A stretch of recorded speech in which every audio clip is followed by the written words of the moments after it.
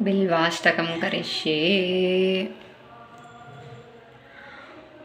त्रिदलं त्रिगुणाकारं त्रिनेत्रं क्षत्रियायुधं त्रिजन्मपापसंहारम् एकबिल्वं शिवार्पणं त्रिशाकैर्बिल्वपत्रैच्छाच्छिद्रै कोमलै शुभै तव पूजां करिष्यामि एकबिल्वं शिवार्पणम्।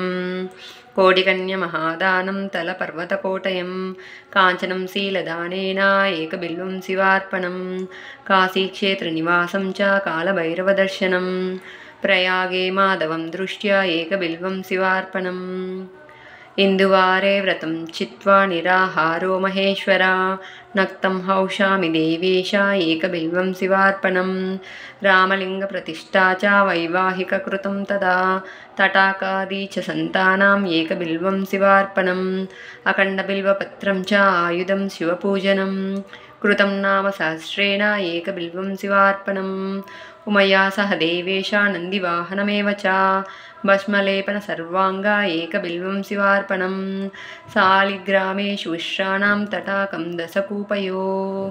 यज्ञकोटिसहस्रैश्च एकबिल्वं शिवार्पणम्।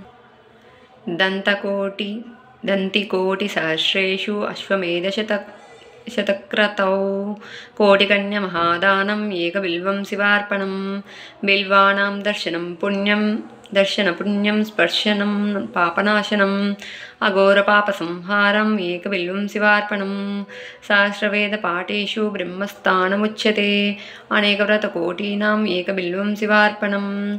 बिल्वाष्टकम् इदं पुण्यं यपटे शिवसन्निधौ, शिवलोकमवाप्नोति एकबिल्वं शिवार्पणम्। इति बिल्वाष्टकं सम्पूर्णम्।